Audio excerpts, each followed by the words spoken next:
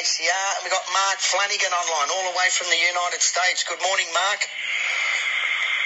Good morning, mate. Or not, I'm here, but yeah, good morning. Sorry, mate, I always uh, stuff that up. Uh, how's the preparations going for the big WBA uh, world title fight in France? Yeah, no, no, preparation's been going good. You know, we've um, we've knocked out a few good sessions over here in Philadelphia.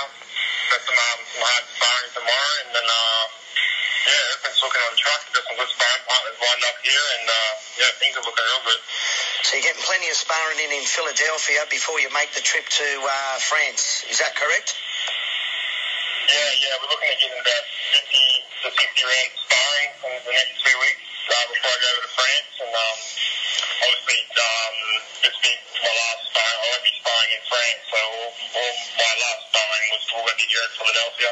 Yeah, who, who, Um, who you got? towards the end, and it, That, that sorry? That's great. Who have you got lined up for sparring there in Philadelphia? Uh, we've got Steve Cunningham, former world titleist. Oh, yeah, Um, good.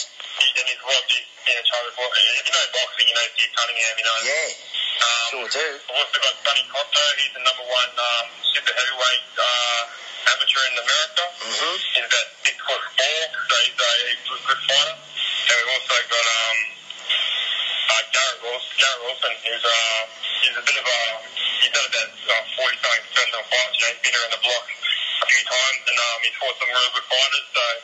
Yeah, we've, we've really got a good mixture of, of, of sparring partners here and all hungry people, you know. You walk into the gym here and everyone's got that grimace look on their face, you know, they're all about training hard and I'm just work, work, work. Yeah, that's that's what you want. So you find yourself fighting for the uh, WBA uh, cruiserweight title again on the 20th of October. You had a crack at it. It was over a year ago now. Uh, Denis against Denis Lebedev when you you lost on points unanimous decision for that same title, wasn't it? Yeah, that was, that was for the super titles. Um, Mhm. I guess that Lebedev, he was, he was the super champion. You know, the WBA, they, they promote their champion. I think I was going to Usyk the super champion now. This is for the interim, WBA interim belt. So Okay. more title, but uh, Yeah. it all it, it kind of makes it mandatory for the, to, for the super belt. And you know how the boxing ratings can be. They can Oh, yeah. confusing to the, the general public, but most boxers understand how they work. And um, yeah, so it's, it's not a massive you know. Uh, It sure it, it sure it sure is.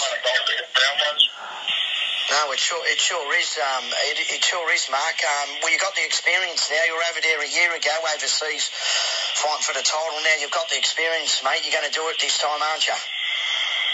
Yeah, this time, this, this, this fight's definitely more suited to me, you know. Um, I'm getting, getting better sparring for this fight. I didn't get much sparring for the Lebedev fight, and the sparring I did get was the complete opposite to what I needed.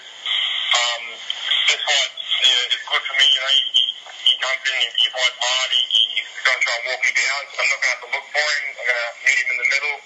It's going to be a good fight. Uh, and the sparring I'm getting here is going to be good preparation for that kind of fight. Oh, that's great, mate. Well, all we can do is wish you all the best, mate, and bring back the bacon. Oh, thanks, mate. I really appreciate it.